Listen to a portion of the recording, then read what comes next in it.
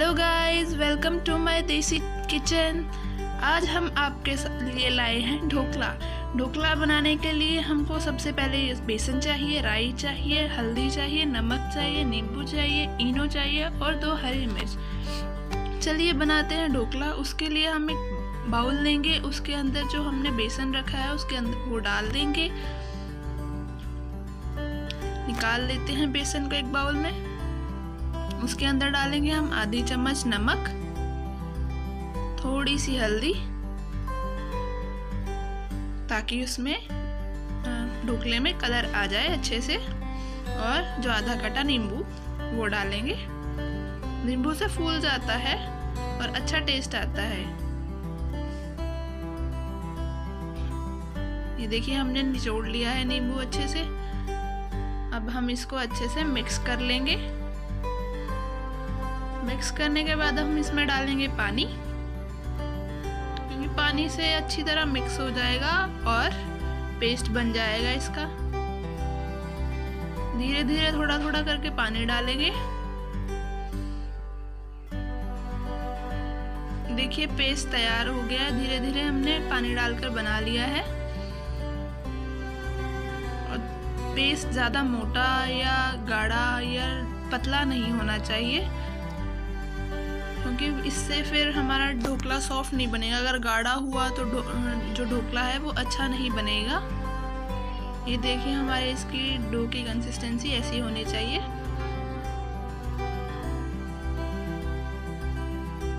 अब हम इसमें डालेंगे इनो। इनो से ये फूल जाता है अच्छे से और सॉफ्ट हो जाता है। तो अब हमने इनो डाल दिया है। इनो डालकर इसको अच्छे से चम्मच के साथ मिला लेंगे।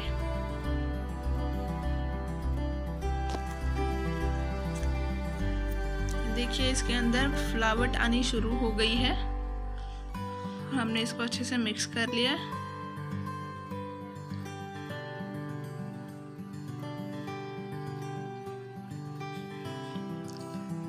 हम बनाएँगे हर चीज़ को देसी स्टाइल में। क्योंकि हमारे किचन का नाम है देसी किचन। सो so, हमारे साथ आप रोज़ ऐसी ही कुछ नई वीडियोस देख पाएँगे। अब हम इसको रख देंगे 10 मिनट के लिए ताकि ये रेस्ट हो रेस्ट में रहे और अच्छे से फूल जाए। अब हमारा बैटर तैयार हो गया है। पकने के लिए ढोकला बनने के लिए तैयार है। तो अब हम इसको बनाएँगे कढ़ाई में। तो हमने इसको कढ़ाई को गैस पर रखना है। गैस ऑन करनी है। हम बनाएँगे नमक के साथ। सो अब हम डालते हैं इसमें नमक, जो मैं काफ़ी बार पिज़्ज़ा बनाने में या ढोकला बनाने में यूज़ करती हूँ।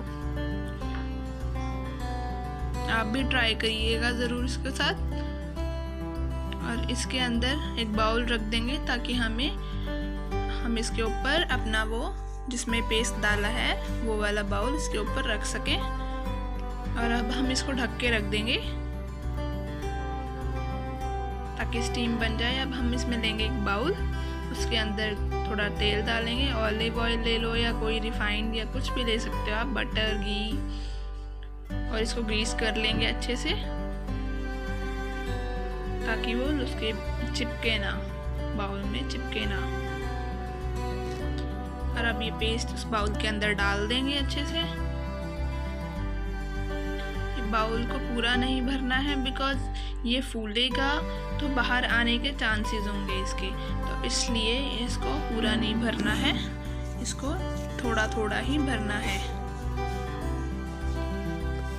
हम इसको रखेंगे जहाँ स्टीम हो गई है। हमारी इसमें कढ़ाई में स्टीम आ गई है तो अब हम इसमें रख देंगे इस पेस्ट जो हमने बनाया है, इस पेस्ट को। और अब इसको ढक देंगे ताकि ये स्टीम में बन जाए। लगभग 15 या 20 मिनट में बन जाएगा। 15-20 मिनट में आपका ढोकला तैयार हो जाएगा। तो अब हम इसकी बनाएँगे चाशनी, खट्टी मीठी चाशनी। उसके लिए पैन लेंगे। पैन के अंदर थोड़ा सा ऑयल डालेंगे। इसको अच्छे से फैला लेंगे सारी जगह। फैला लिया जैसे अब फैल गया। अब इसके अंदर मस्टर्ड सीड राई जिसको कहते हैं, वो डालेंगे।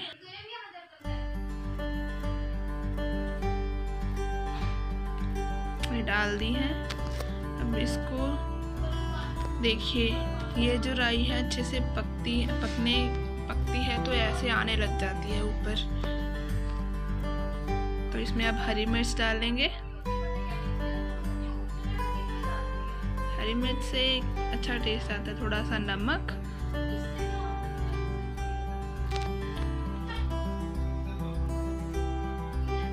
Two two three tablespoon of sugar डालेंगे, चीनी, और उसको अच्छे से मिक्स कर देंगे।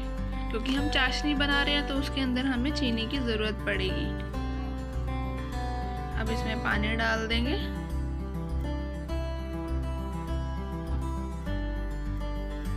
पानी डाल दिया, और अब इसको उबलने देंगे।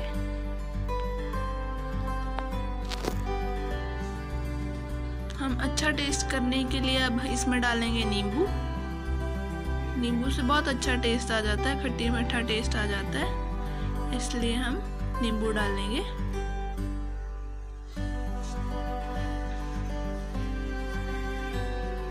डाल दिया हमने नींबू। और इसको मिक्स कर देंगे। और इसका उबलने देंगे। अब हम देखते हैं ढोकला हमारा तैयार हुआ कि नहीं। करते हैं, चलो। ये जो ढोकला दिख रहा है, ऊपर से पका हुआ दिख रहा है बट शायद अंदर से कच्चा है। तो इसको चेक करने के लिए हम लोग एक चाकू लेंगे, उसको डालकर देखेंगे। देखिए, अभी कच्चा है सो दिख ही रहा है, वो चाकू पे लग गया है। सो इट मीन्स ये कच्चा है। इसको ढक देंगे। हो जाएगा, पाँच सात मिनट में तैयार हो जाएगा। इसको ढक के रख देंगे दोबारा। स्टीम होने देंगे। चलो, देखते हैं दोबारा से हमारे, आपके साथ ढोकला तैयार हुआ कि नहीं। दोबारा चाकू लेंगे और डाल कर देखेंगे इसके अंदर। ये देखिए, बिल्कुल रेडी है, क्योंकि ये चाकू पर लगा नहीं है। आप देख सकते थे पहले की तरह नहीं लगा है। चलिए इसको निकाल लेते हैं। हमने निकाल दिया एक प्लेट में। अब हम इसकी कटिंग कर लेंगे और इसको बाउल में निकाल लिया हमने। और अब जो हमने बाउल में निकाला है, इसको कट करके अभी हमने जो चाशनी बनाई थी, इसकी वो में डाल देंगे। हमने फ्रिज में रख के ठंडी कर ली थी इसको। अब हम इसमें डालेंगे इसको। खट्टा मीठा टेस्ट आता है, इससे बहुत अच्छा बन जाता है। हम ये चाशनी इसलिए डाल रहे हैं बिकॉज़ ये चाशनी के अंदर आके सॉफ्ट हो जाता है और बाज़ार जैसा टेस्ट आता है इसके अंदर। थोड़ा सा रख देंगे इसको थोड़े टाइम के लिए और फिर इसको प्लेट में निकाल लेंगे या किसी बाउल में निकाल लेंगे, जैसे भी आप खाना पसंद करें और सर्व कर सकते हैं आप इसको। अच्छे से। ये देखिए हमने अच्छे से तैयार कर लिया है। हो गया है, हमारा ढोकला तैयार। थैंक यू सो मच आपने हमारा ये चैनल देखा। आप हो सके तो आप इसको सब्सक्राइब ज़रूर कीजिएगा और शेयर ज़रूर कीजिएगा। Thank you bye bye